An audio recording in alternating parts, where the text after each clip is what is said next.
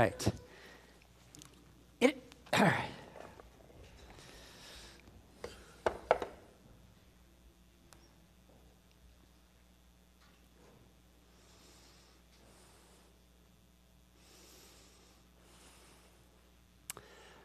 Well, God's presence, God's blessings are for you and in you. They are near for you. That's it. God's presence, His blessings in your life, they're there. They're working in you, they're working even through you, they are with you. In our gospel reading today, Jesus is sending his disciples out to the villages around. And it doesn't say a lot about what they're going to do, or certainly nothing about what they're supposed to say. But we can look back and, and say, well, they're Jesus' disciples. He's been teaching them. They are followers of Jesus, so the things that he's been doing and saying, they're supposed to bring that out to the people in surrounding villages. That's a pretty straight up thing. And I think for Mark's gospel in particular, the core of the message is that the kingdom of God was near. And I'm going to kind of reduce the kingdom of God. It's not perfect, but it's, it's going to work for us today that that kingdom is talking about God's presence and blessing in their lives. That God is there present for those people, and God's blessings are in their lives. Now, the people he was speaking to, that these disciples went out and gave this message to, thought precisely the opposite. They thought God was far, God's kingdom was far, and thus God's presence and blessings weren't there for them. Because if they were there, things would be different. Because I think they measured their sense of whether God was for them against them about how it was going in their lives. That was their little radar. Well, it's not going well in my life. You know, this stuff's messed up over here. Uh, you know, I'm not very, you know, I've been sick too often. I'm not, you know, having the money or prosperity that I want in my life. You know, all this stuff's missing. Therefore, that means God's blessing and presence aren't there for me. Makes sense, isn't it? Yeah. But Jesus is having his disciples go out and say, You're wrong on this. That, in fact, God's kingdom the presence and blessing of God is there for you folks, for all you folks. Well, today I think we often can follow in these same patterns of thinking that those people did back then. That it can happen pretty fast to us that we kind of judge God's closeness or distance and all that sort of thing by how we're doing in our lives. So if we're facing one bad event after another bad event, we've messed up, that's probably a sign that God really doesn't have much to do with us. We've blown it. Maybe we're being punished. God is missing. The modern, you know, is God doesn't even exist. The same around our health. If we have some health issue and, and, and we're fighting with that and it's just not going away and the doctors don't seem to be helping us, again, it's a sign, well, God, where are you? And then we open our Bibles and see all these things Jesus did to heal this person and that person. And we say, Well, Jesus, you healed all these people. Why aren't you healing me? How did you forget me, Jesus? I mean, look at all these good stories of you healing everybody.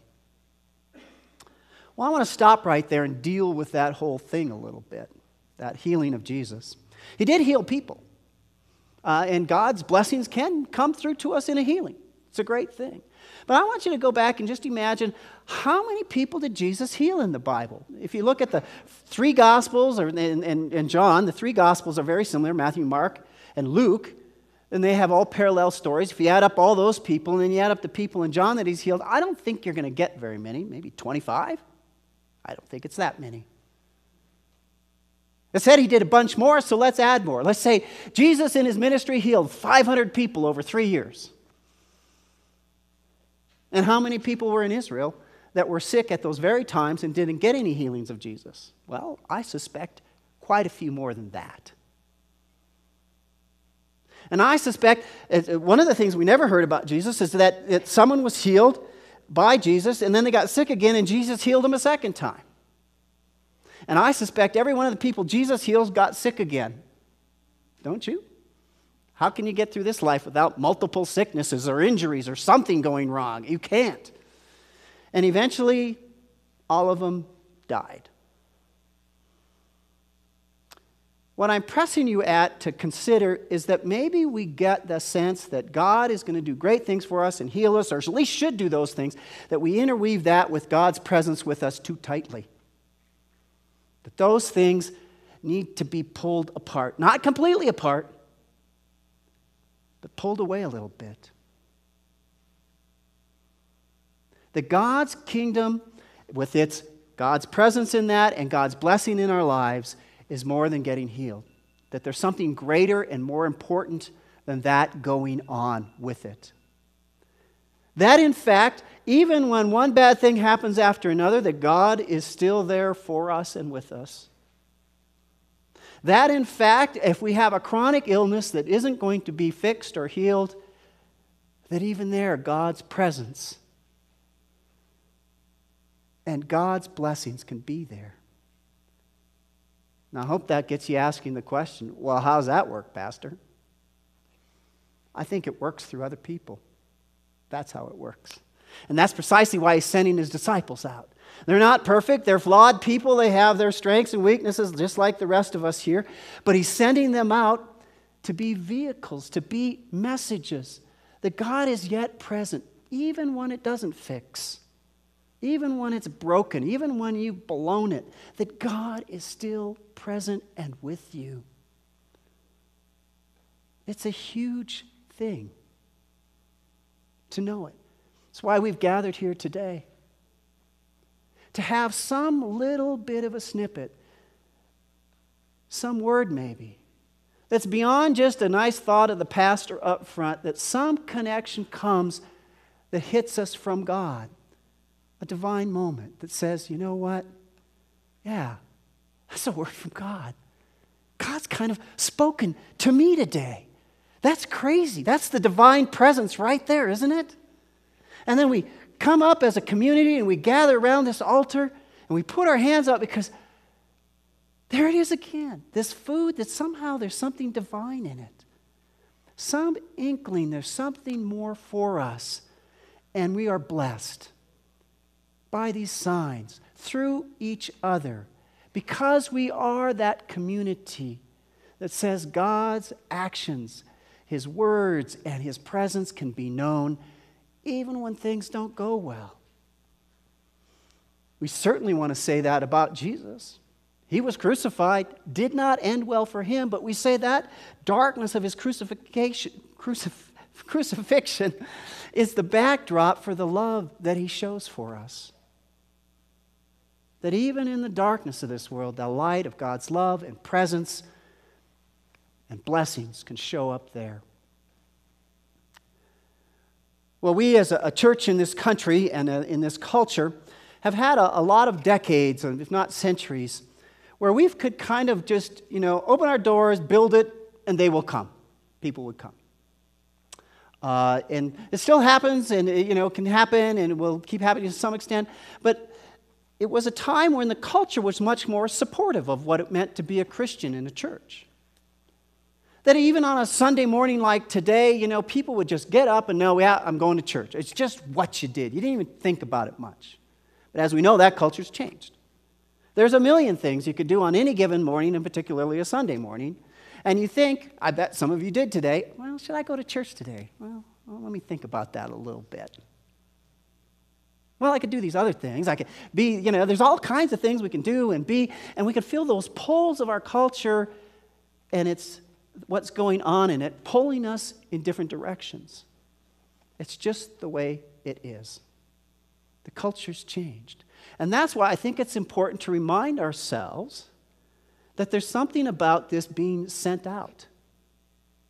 And remind ourselves that that, in fact, is a sign that God's presence and God's blessings come through us to everywhere we're out there in the world. Yes, us. You and me. And I think there's all kinds of ways we want to say, well, no, no, sort of, or kind of, or probably not, all that kind of stuff. But I want to adjure you not just because Jesus sent us out there to do it, but I think there's some huge needs that Jesus cares about. I'm going to just pick on one today, and that's the fact that our culture gets increasingly lonely. They're charting the trend. We're getting more isolated, and people are experiencing more loneliness out there. And loneliness hits us more than just kind of this little uh, psychological ache. That that psychological ache actually has huge physiological impact. That they have done studies on loneliness out there, and they show that being lonely is equivalent to smoking a pack of cigarettes a day on your physical health. And that as it increases, people are dying because of the loneliness and its effects on their bodies and the deterioration of their bodies are dying in a great abundance because they're lonely. So we, as God's people, are sent out to do what? To connect. To be that little sign out there in the world for the people around us. That God's presence is there for them. It's not even just me, which is a big deal connecting to them, just doing that, but we can let them know there's even something more. God's there for them. And through us, they'll know some sense of blessing in their life, a care, a need met, a word said. That is the vision of Jesus that we're seeing unfold today. Not just that He does it, but He has us do it. One of our things as a, uh, a church for decades now has been that we are a community and that we create community is kind of the new way we're talking about that. A place where people are known and they know us. A place where people care and they are cared for. That that kind of sense of interaction for us is what we need and what we're called to foster here. And we're doing this belonging pathway things and all these things to try to help us get there. And we still have lots of room to improvement. It's who we are. This kingdom of God's presence and God's blessing comes through those relationships, the sense that we're belonging. So I'd ask you when you're in here to make sure you know everybody belongs and that you care about them. And when you go out of here, you might think, well, I kind of left that God church thing behind and I'm heading on my way, and it just kind of falls off the radar screen. Uh, and you might feel like God's kingdom is far. To know that you're wrong. You are wrong. You may not even be thinking about it. It may not be on your radar screen, but God's presence and God's blessing are in you and through you to the rest of the world, and it doesn't fall off when you walk out the doors. You're it to the world. You are the ones God works through. His presence and blessing are all over you and in you and through you.